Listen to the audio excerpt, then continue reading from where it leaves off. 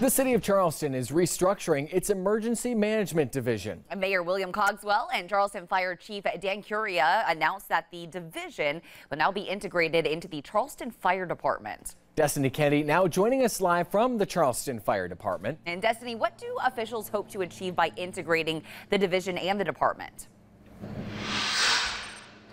Michael Justin Mayor Cogswell says by making this decision, he's ensuring that the city is equipped to handle emergency situations.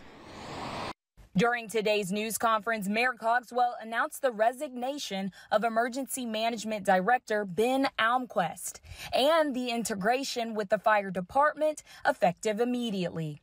The Charleston mayor says keeping the two departments separated felt redundant. And when you have uh, an emergency situation, uh, you have multiple departments that need to come together. And so uh, a lot of it is orchestrated by the fire department. This decision comes a week after a storm caused flooding throughout Charleston.